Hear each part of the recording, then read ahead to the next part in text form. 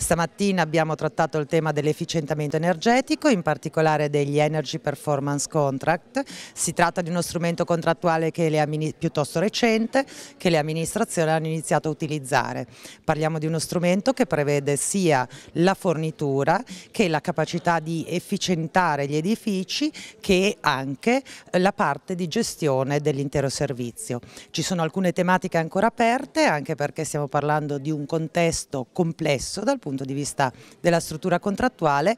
Eh, stamattina i nostri relatori hanno trattato questo tema cercando di offrire delle risposte. Era presente il presidente di Enea che ha portato anche ehm, le novità future che ci, aspetta, ehm, che ci aspettano sul tema dell'efficientamento e anche la magistratura della Corte dei Conti che ha dato eh, diciamo, il proprio parere sul tema dal punto di vista della tutela delle pubbliche amministrazioni.